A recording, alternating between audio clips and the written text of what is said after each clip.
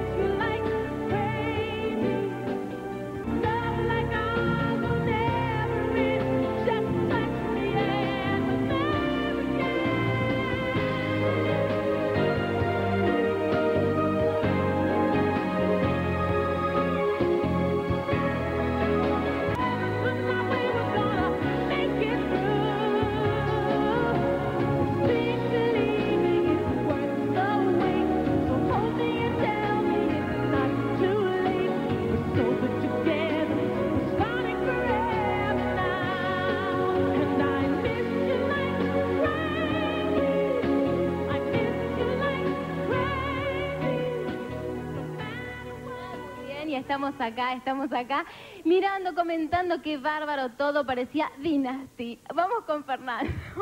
Sí, bueno, muy bien. El cumpleaños de la señora Mirta Legrand en forma exclusiva desde Punta del Este.